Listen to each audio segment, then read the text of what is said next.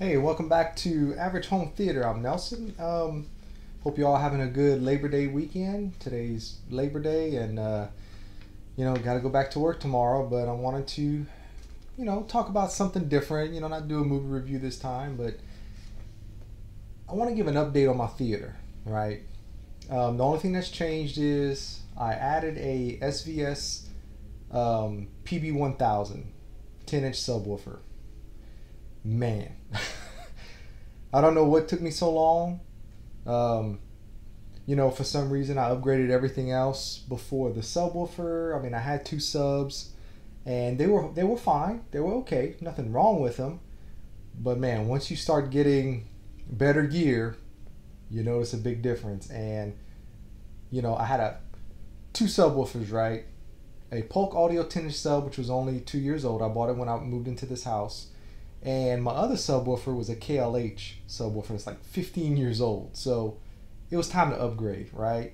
And you know, it's kind of a hard pill to swallow to to drop, you know, 500 bucks on a subwoofer. And I know people spend way more than that. They have subs that are like $3,000. Um, but you know, I don't have that kind of change. Um, one step at a time, and that's kind of why I wanna why I wanted to do this video. You know, I I did a lot of research when I first started getting into wanting to have a dedicated space, right? For 20 something years, I've had surround sound. When I lived in an apartment, when I first moved out, I bought my first house, and then uh, I got married and we, and we moved into a, a, another house. Same thing there, had surround sound, always upgrading my gear as I went, you know, whether it be receivers or speakers, going from bookshelf speakers to some towers and but they were always in the living room, right? I never had a, I never used a dedicated space. And about four years ago, um, we decided, you know, we have one daughter and we're not going to have any more children. And I wanted to have a man cave, right? So bought like a 55 inch TV, Insignia TV. Um, and I had pieces of old box surround sound systems that I've had or that I've taken from people when they were getting rid of them and whatnot and I had a little makeshift theater in in a bedroom, and it was fine. It was great. You know, it immersed me when I was watching movies. It immersed me playing PlayStation, which I'm about 50-50. and um, so you know. But when I started to, when I wanted to get serious, then I started looking at projectors and whatnot. So, you know, when people ask me, you know, like how much did it cost, or uh, how much should I spend? Well, you know, when it comes to this, it's just all relative. It's all you have to decide what you want to do. Are you trying to just have surround sound in the living room for you and your wife or your husband, whoever, to just have movie night every now and then?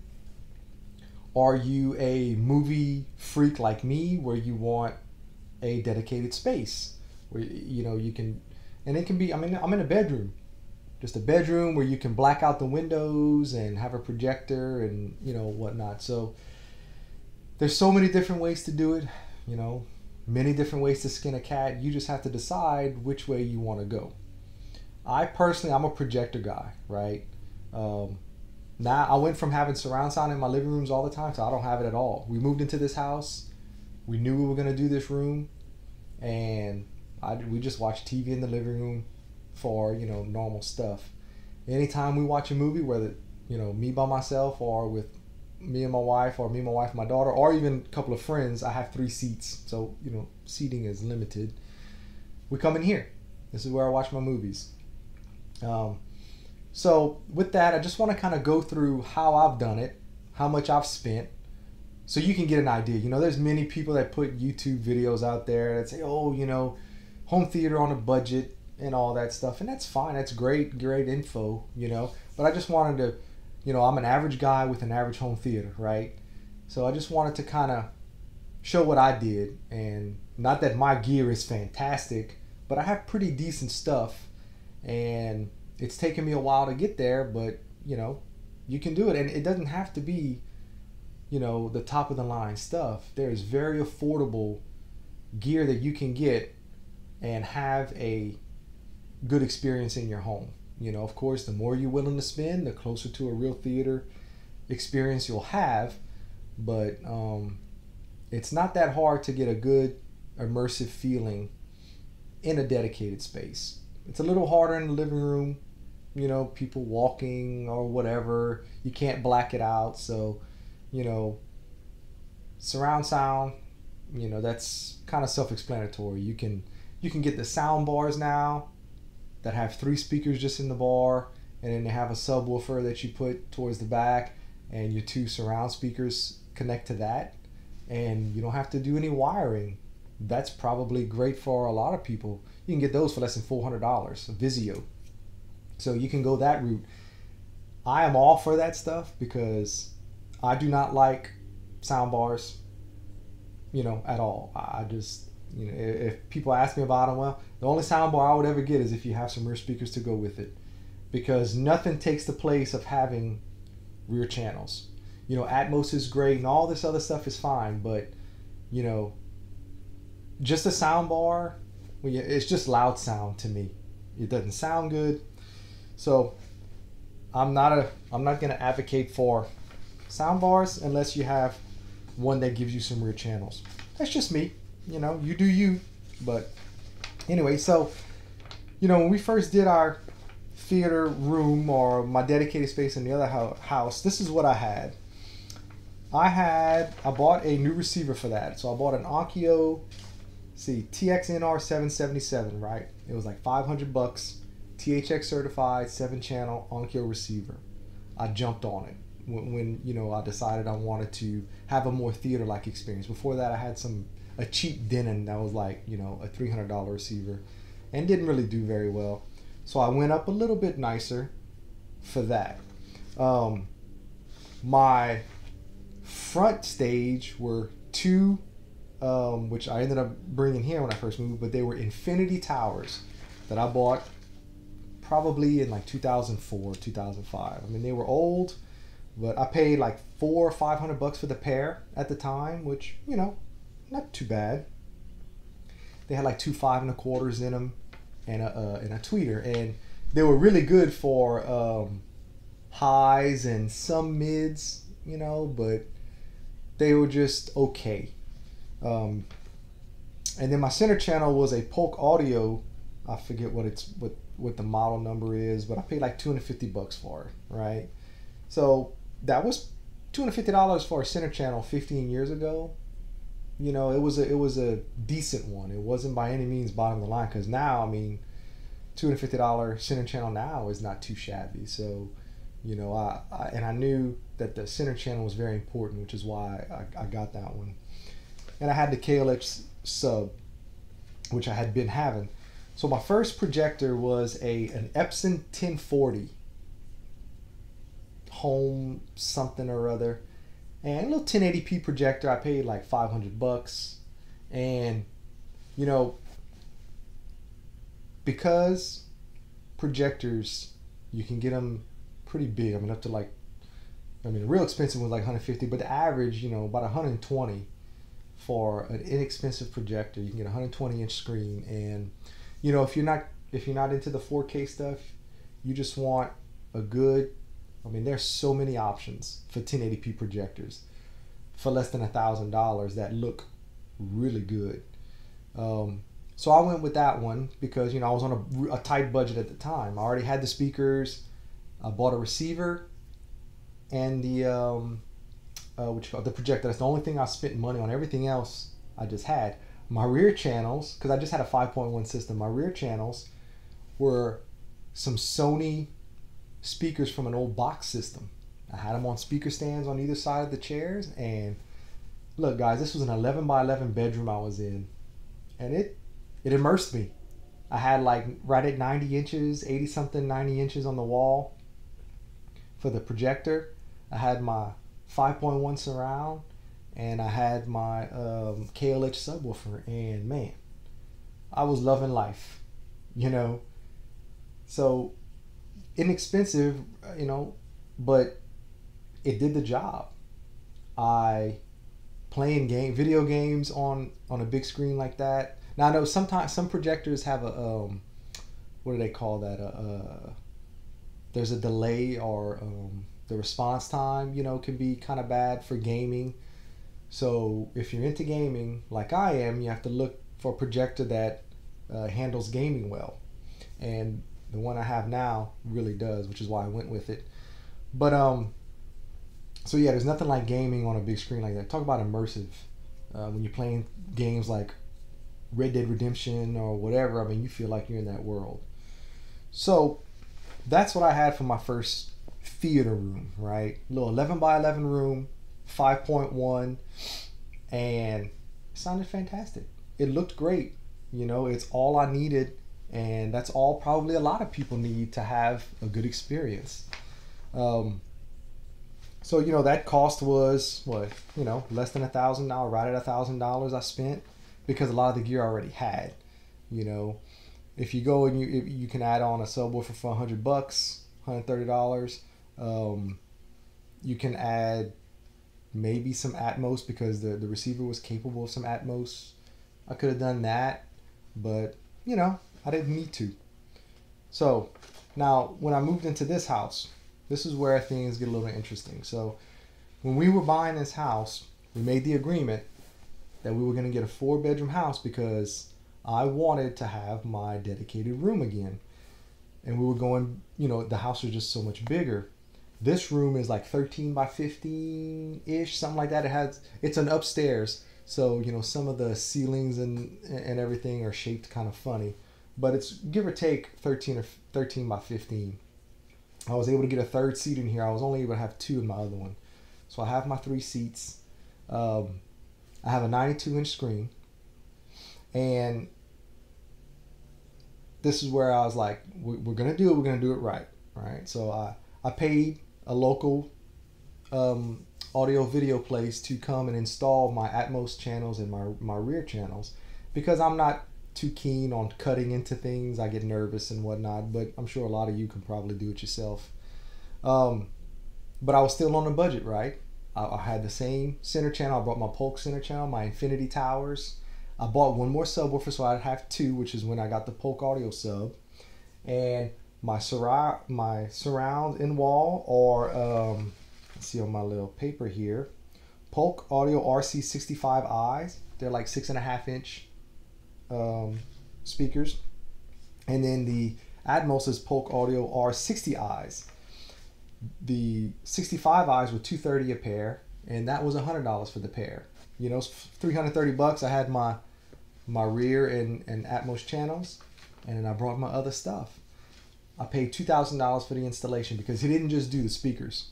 He also ran the wire because all my gear terminates in the closet. If you see my video, you'll see it. Everything terminates in the closet right? So he ran all my wires and he did all that stuff. He was here for eight hours. Um, he oh he uh, mounted the projector for me, did all that stuff. So that was right around 2000. Um, these seats total, I have twenty four hundred dollars because the love seat was seventeen, and the additional one was seven hundred. Um, so now I'm gonna go down my gear that I upgraded to after I moved in. So I ended up getting this. I had a uh, oh I skipped a, a projector. When I decided I wanted 4K, I bought an Optoma UHD 50, and I paid twelve hundred dollars for that thing. That is a really good projector. Um, it didn't handle HDR very well, but man, the picture quality was superb. I mean, just the sharpness. I mean, it just it looked great. HDR, it kind of struggles. So a lot of times I'd have to turn HDR off. And so I felt like I was missing out. So uh, that's when I upgraded to this one. So I have the Epson 5050 UB. I paid 3000 That's the that's how much it's been since it released. And every now and then it'll go on sale for a little bit, but right around 3000 what you'll pay.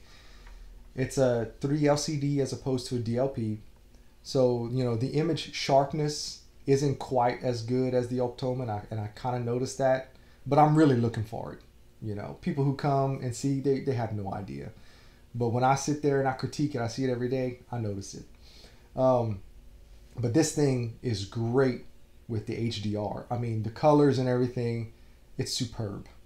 Um, the gaming latency is great. I don't really notice anything. Now I don't competitive game. I don't I don't PvP and play all that other stuff. But just me playing by myself or playing co-op with people, um, it's just it's great. My screen is a two hundred dollar silver ticket uh, white screen one to one game. It's great. Um, no reason I, you know, I'm hard pressed for somebody to convince me that you have to spend seven hundred or thousand dollars on a screen. Um, I know the silver ones give you more contrast and all that stuff.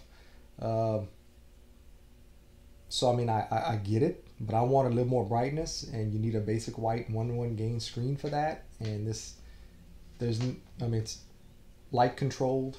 No reason for me to go anywhere else. My receiver I upgraded to that to an Onkyo RZ830 THX 9.2 channel receiver. Now this thing I got for a steal. Um, Audioholics posted a thing a couple years ago that they were on sale that it was like a closeout deal Onkyo was doing. This is like an $1,100 receiver. I paid $498 for it. Brand new out the box. Shipped to my house. $498. A steal. And this thing does great. It's a nine channel receiver, but I only power seven channels. Plenty of power. Um, I am going to add a, a, small amplifier to power my two front towers because they're, you know, some good speakers and I want to get the most out of them. I'll get to that. Um, my Blu-ray player is a Panasonic UB420, 200 bucks. Um, I have Apple 4K TV, $180. And here's where it gets interesting. My front stage are the Martin and Logans, uh, 60 XTIs. These things are a beast, okay? They're expensive. 1700 a pop. So $3,400 for the pair. But it was my 40th birthday present. I explained it in my previous video. My wife wanted to, you know, she's like, I want to get you something nice. And so that's when I went with the front stage because I got the matching center channel, which is the Martin and Logan 50 XTI, $1,000. Okay. Um, I still have the same surround Polk surrounds and Atmos because I haven't got that far yet between upgrading the front soundstage and then getting the subwoofer and the projector. Daddy's got to slow down a little bit, right? Got to keep mama happy. So those will come in due time. Um, I already said the subwoofer's 500. Um, so yeah, I'm right around 10,000. 9,400 really, but to get a receiver equivalent to this one, you're gonna pay about a thousand, eleven hundred. So that's why I put ten thousand is what I have in current gear. Now it sounds like a lot, and it is, but just understand I didn't buy it all at once. You know, like this chair, I've had these for like four years. I bought these like four years ago. So, you know, you get things gradually. You get them piece by piece. You don't have to go out and drop 10, 15, 20,000 dollars all at once you can get gear, a baseline like I did, and upgrade. You know, and there's nothing wrong with that. You know, there's a lot of snobs out there that say, you know, well, if you got Martin and Logan, you gotta have Martin and Logan everything, and you gotta have. You don't. All my stuff was mismatched for so long, and you just that you just don't. You know, I did it for the front stage. It was my 40th birthday. It was a big deal. My wife wanted to go all out, so I got all three, right? But if I wouldn't have been able to do that, it's fine. You don't you don't need to do that. And you know, I, I I've been on a lot of forums and I see the snobs. You know, oh, uh, your rear channels should be a little bit lower. They should be so amount of inches above your ears. And I mean, come on, guys. yes, you could always be better, right? But just because somebody says something on a forum or whatever doesn't make it so. Whatever you enjoy, it's fine. If it sounds good to you, I mean, like I had those other towers and, and those other subwoofers, and I, I thought it, my, my stuff sounded great, and it did. You don't know what you don't know. Once you upgrade, then you're like, ah, this is much better. But that doesn't mean what you have is crap or it sucks. So I guess that was kind of my main reason for wanting to do this is because I know there's a lot of people who want to do, especially now with COVID and everything else, they want to have a, a space like this, and, and but they just, I know it's almost like peer pressure to people you don't even know. You feel like, man, well, if I get that, then you know, if I happen to post, hey guys, look what I have. If you're part of a group on Facebook or a forum, because I did it once, and I just wanted to show off what I had, and the amount of people that started critiquing and telling me to do this and telling me to do that. And I'm like, I didn't post this to ask your permission or for your blessing. I just wanted to show off my stuff. You know, hey, look what I got. I'm I got a home theater. You know, and I I guess just some people, man. That's the world we live in now. So I want you, if you're watching this and you are, you know, wanting to do something like this, do what you can afford do it piece by piece if you have to, and enjoy it. Because there's nothing like watching a movie and getting immersed in it. And the best way to do it, in my opinion, is a big display, which is why I go projector and not a TV. Because if you try to get a TV this size, you know, I'm not dropping 20 grand on a TV. So I have a 92 inch screen, and when I'm watching the movie, I feel like I get immersed. I feel like I am in there. Um, and it's as close to a movie theater that I'm ever going to get. You know, yes, could I put lots of sound treatments, which I do want to do. I'll do that eventually. But, you know, it's fine. You don't you don't have to have your room looking like a movie theater to enjoy it. So, anyway, with that, going to take a sip of my water from my new mug. I'm getting ready for the Halloween season. Myself and Don are going to do some horror movie reviews and whatnot this month and next month because, you know, I love Halloween and I love horror movies. So we're going to do quite a few horror movies or Halloween type movies coming up. And um, yeah, I hope you like it and I hope you like this video. I hope it helped. You know, maybe you can, you know, now relax a little bit if you were worried or if you're you're going through YouTube looking for some advice, you know, yeah, I've spent, you know, probably in total, I mean, over the 20 years, probably close to $20,000, right? But not all at once. The most I've, I've spent at once was my front stage, and, you know, that was a, a birthday present. So hopefully this helps some people and doesn't you know they don't feel discouraged now and that they just relax get some gear and watch some movies all right and with that i'm going to wrap it up. Hope you guys enjoy your uh, labor day weekend and um, yeah i'll see you on the next one